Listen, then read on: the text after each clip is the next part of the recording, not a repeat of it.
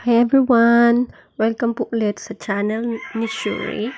Ah, sa video na to, ipapakita ko po sa inyo kung paano nga ba natin malalaman na mahal tayo ng mga aso natin. So, one, ah, lagi silang nakabantay sa atin. Kung napapansin natin, lagi silang nakabuntot kung saan tayo pumupunta. Within the house po ito ha. Anong ginagawa natin? Gusto nila lagi lang tayong nasa tabi nila nakabantay kasi gusto nilang ma-secured na safe tayo. At saka yung scent nila natin rather is lagi nilang naaamoy so number two gusto gusto nila naman nagpapahawak sa atin. Yung uh, nirarab natin sila tinatouch natin sila. Tapos mumingiti sila sa atin. So that's that is also a sign of love of our dog to us.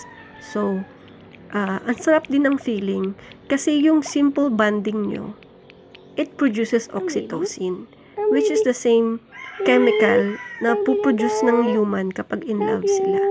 So, number three is, nagre-respond sila sa sound ng voice natin. Uh, kung wari mayroon tayong sinabi or inutos natin sa kanila, nagre-respond sila binibigay nila or sinusunod nila yung sinabi natin. That is a sign of love ng aso sa atin bilang owner nila. And then, the next is number four.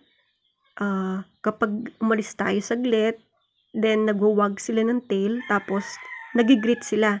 Yung simpleng pag-bend nila ng paa nila yon that's a sign ng greetings ng mga aso. It's a way of saying hello and I love you. Uh, sa next video po, mapapanood nyo yan, yung body language ng mga aso.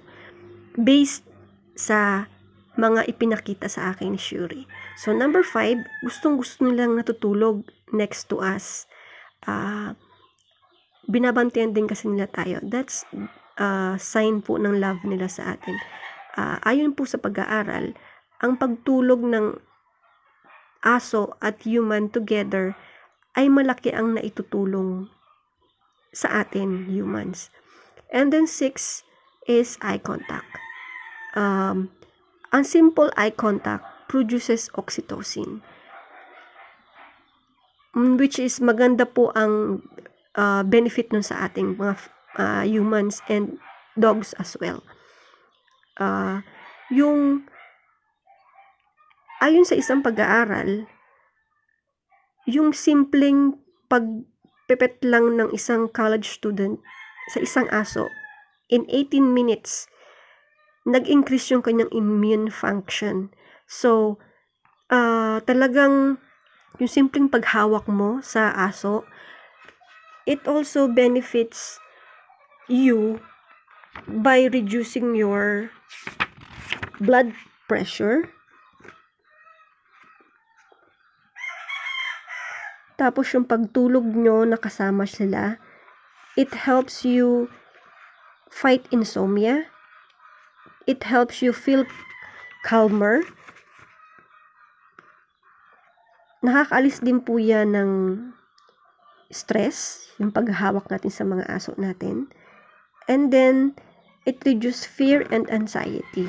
So, sana po ay meron kayong natutunang kaalaman sa aming maiksing video na ito.